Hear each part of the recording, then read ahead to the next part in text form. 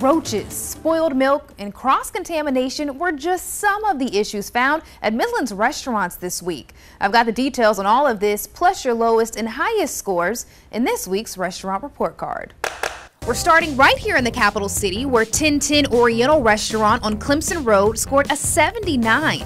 The inspector says there were roaches crawling up the walls behind shelving and equipment, roaches crawling into the ceiling over the dish line, roaches crawling over the dirty side of the dish line, and roaches crawling in the dining area. The restaurant was also cited because the dish machine was not sanitizing and dirty containers were stored as clean. Over in Sumter County, Shoney's of Sumter on South Pike Street scored a 78. According to the report, an employee handled raw link sausage with their bare hands, then handled utensils and ready to eat foods without washing their hands first. Food items on the buffet were not kept underneath the sneeze guard, and some of the food in the walk in freezer was not date marked. Also in Sumter County, Ruby Tuesday on Broad Street scored a 78. The inspector says an employee washed their hands without using soap.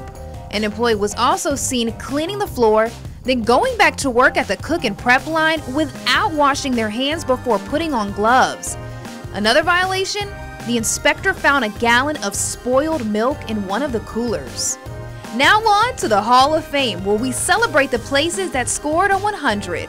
Southern Pride Catering on Tahoe Drive in Sumter, Little River Landing on Hollywood Road in Saluda, Gorilla Boost on Sumter Street in Columbia, Kathy's Country Cooking on Kennerly Road in Orangeburg, Top China on North Wheeler Avenue in Prosperity, and Cake Collection Boutique on St. Andrews Road in Columbia. All these places dished up perfect scores. Now, for the other restaurants and grocery store that scored below a 90, head on over to WLTX.com. For Restaurant Report Card, I'm Whitney Sullivan.